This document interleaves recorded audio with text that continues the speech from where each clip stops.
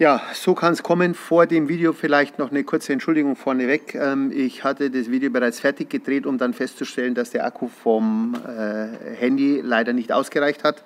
Das heißt, das Video war dann weg. Ich habe das Video dann ein zweites Mal gedreht und als ich fertig war, habe ich gemerkt, dass das Mikrofon nicht eingesteckt war. Das heißt, das Video ist komplett im Originalton von dem äh, Xiaomi-Handy Deswegen bitte sorry für den Ton, wenn er nicht ganz so gut ist wie sonst. Äh, ich denke, er wird ausreichen, weil ein drittes Mal das gleiche Video drehen habe ich jetzt echt keinen Bock. Viel Spaß bei dem nachfolgenden Video. Tschüss. So, nochmal. Servus miteinander. Heute das Thema äh, Twizy billig, günstig, teuer. Ja, dazu habe ich mir mal ein paar Gedanken gemacht und äh, ich fange einfach mal ganz vorne an äh, mit der Definition, ob ein Twizy billig oder günstig ist. Man kann sich ein Segway kaufen, so ein zweirädriges, völlig unbrauchbares Gerät für 7.500 Euro oder eine Harley für 35.000 Euro und dann fragen, ob das billig ist. Ähm, der Twizy kostet roundabout zwischen 9.000 und 11.000 Euro und ja, das ist für ein Fahrzeug in der Größe mit Sicherheit nicht billig.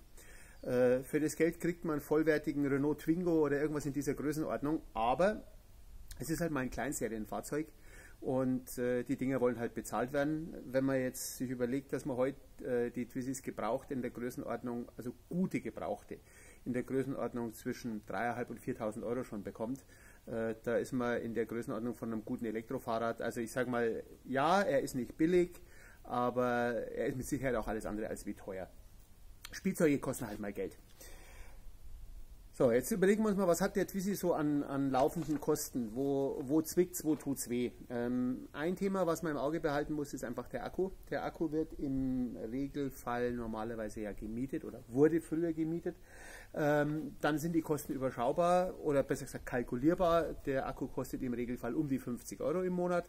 Das heißt, ich habe 600 Euro Kosten im Monat und weiß, mit diesen Kosten habe ich die nächsten, ja, solange Renault mitspielt, 10 Jahre, 15 Jahre, einfach äh, eine klare Kostenstruktur. Ich brauche mir da keine Gedanken machen, ob ich den Akku irgendwann mal runterfahre auf, auf äh, halbe Leistung oder was. Ich kriege bei 75 oder respektive, da hat sich ein bisschen was geändert, 60 Prozent, je nachdem, äh, kriege ich einen neuen Akku von der Bank oder einen neuwertigen Akku von der Bank.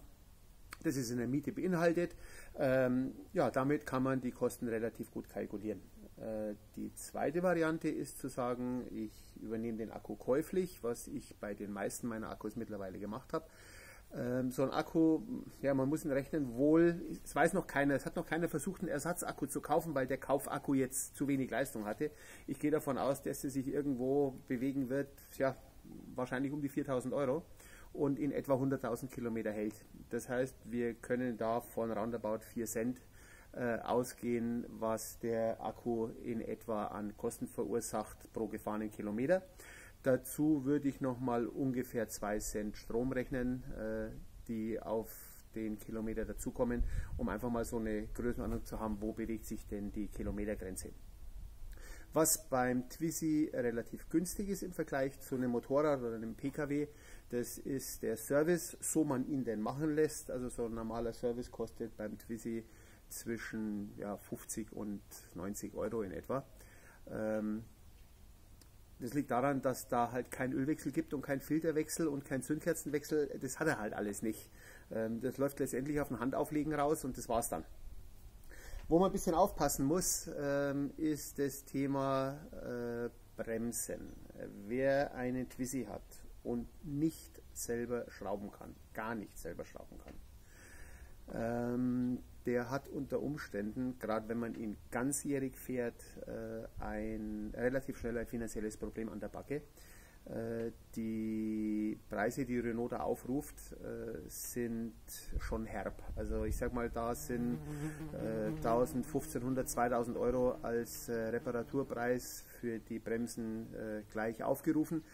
Ob es die braucht oder nicht, da habe ich meine eigene Meinung dazu. Ähm, ich habe ursprünglich immer gedacht, Renault zieht dort seine Kunden ab oder die Autohäuser ziehen ihre Kunden ab.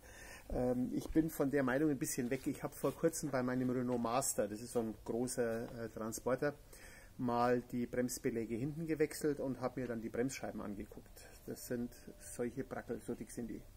Ähm, wenn ein Renault-Mechaniker den ganzen Tag mit PKWs zu tun hat und den ganzen Tag mit Bremsscheiben zu tun hat, wo die dünnsten 2,5 cm dick sind und hat dann so ein Twizy auf der Bühne und sieht da Scheiben mit 4, ein bisschen was Millimeter, äh, was völlig im grünen Bereich ist, äh, dass der natürlich sagt, um Gottes Willen, da braucht man neue Scheiben, kann ich bis zu einem gewissen Grad jetzt wirklich verstehen. Ähm, es ist dann halt Unwissenheit, äh, nichtsdestotrotz nicht schön. Ähm, dass die Scheiben halten können, sieht man bei meinem orangen Twizy, also meinem Haupt-Twizy. Der hat jetzt äh, rund 90.000 Kilometer drauf und fährt noch mit den ersten Scheiben.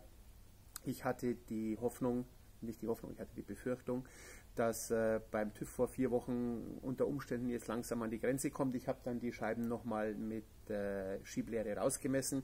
Ich bin nach wie vor drei Zehntel über Mindestmaß. Also er wird jetzt nochmal halten bis zum TÜV 2022. Äh, dann habe ich so ungefähr 110.000 Kilometer drauf. Und wenn man dann mal neue Scheiben rundum braucht für roundabout 1000 Euro, ich glaube nach 110.000 Kilometer und 10 Jahren, äh, da braucht man nicht diskutieren, das ist völlig okay. Die Bremsbeläge sind mit das einzige, was es für den Twizy im Drittmarkt gibt. Äh, die kosten dort einmal rundum ums ganze Auto irgendwo zwischen 30 und 50 Euro. Ähm, das ist auch zu vernachlässigen. Die Lebensdauer der Bremsbeläge ist im Regelfall ca. 20.000 Kilometer. Bei mir persönlich ist sie ein Jahr. Das hat den Hintergrund, weil ich die Bremsrevision selber mache. Äh, dazu gibt es hier ein Video, wie man die Bremsen machen kann. Erstmal das Video vorne. Ähm, die Bremsrevision dazu braucht man keinen Raketentechniker, da brauchst du einen Nusskasten und einen Schraubenzieher und dann ist das Thema an sich keine große Sache. Ähm, es ist wichtig, die Bremsen einmal im Jahr durchzugucken, denn die Bremsen sind entwickelt, ich sag mal, für Südspanien, also sprich äh, Never Ending Sommer und ganz bestimmt nicht für unser Wetter, Regen, äh, Salz und Schnee. Äh, wer bei uns den Twizy ganzjährig fährt, der ist gut beraten, seine Bremsen einmal im Jahr vorsichtig durchzugucken. Ähm, da gibt es noch ein paar Themen dazu, was Bremsersatzteile angeht und sowas. Guckt da bitte einfach ins Twizy-Forum. Das Twizy-Forum verlinke ich euch auch hier mal. Äh, da gibt es weitere Informationen dazu. Ähm, ja, bei der Hinterachse sind die Bremsscheiben, sofern sie dann mal fällig sind, ein bisschen teurer. Ich glaube, die kosten so beide zusammen um die 400 Euro. Das liegt daran, dass man den ganzen Achsschenkel mit austauschen muss. Also da gibt es nicht nur die Bremsscheiben einzeln, sondern da ist noch ein bisschen mehr mit dabei. Gut, auch das ist bei 100.000 Kilometer Lebensdauer verschmerzbar. Wie man die hinteren Bremsen austauscht, zeige ich euch hier. Ja, was haben wir sonst noch? Es gibt dann noch ein Thema beim Twizy, das ist relativ ausgestanden mittlerweile, weil einfach äh, die 2012er Twizys mit den Ladegeräten, die kaputt gegangen sind, schon die meisten kaputt sind. Aber es ist immer noch so, dass das ein oder andere Ladegerät beim Twizy stirbt. Äh, die Ladegeräte 2012 sind damals wie die Fliegen gestorben, also rund ein Viertel, sagen wir mal, aller Ladegeräte ist relativ schnell kaputt gegangen. Renault war dort sehr, sehr kulant, hat also bis zu einem Alter von fünf Jahren fast die Ladegeräte in der Regel kostenfrei getauscht. Äh, das hätte ich bei VW mal sehen wollen, wenn da was nach fünf Jahren kaputt geht. Ähm, jetzt mittlerweile nach acht Jahren braucht man nicht mehr diskutieren. Ein kleiner Lichtschein am Horizont hat sich gebildet. Es gibt mittlerweile einen Reparaturbetrieb, der die, oder sogar zwei, der die äh, Ladegeräte repariert. Ähm, ob er sie nur dann reparieren kann, wenn auf der 12 Volt Seite was nicht mehr klappt. Also in der Regel gehen die kaputt und laden dann die Batterie nicht mehr, die kleine 12 Volt Batterie. Ähm, da ist die Reparatur wohl mehrfach erfolgreich durchgeführt und die wird wohl auch mit Garantie ausgeliefert und kostet so roundabout 400, 450 Euro. Also ist alles soweit okay.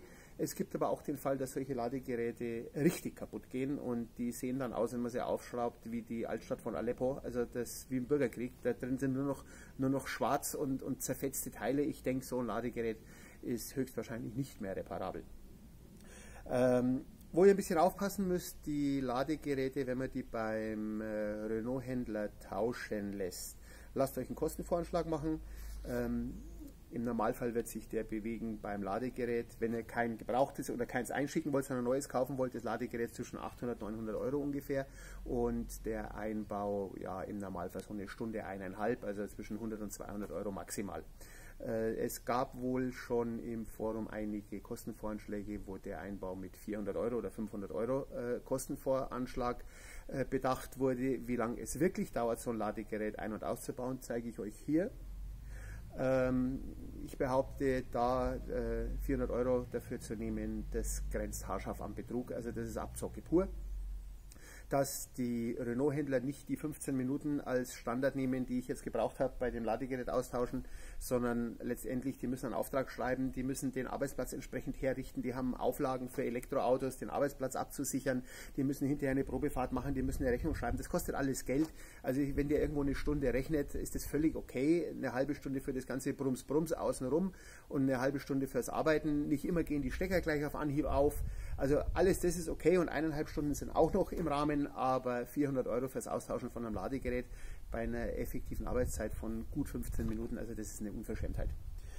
So, ja, das war jetzt so in etwa das Thema Twizy. Ob er billig ist oder teuer oder günstig. Also für mich ist der Twizy eine extrem günstige Möglichkeit, äh, eine individuelle Mobilität zu erzeugen. Ja, ich möchte, ich möchte auf meine kleinen Babys hier nicht mehr verzichten. Bis zum nächsten Mal. Tschüss.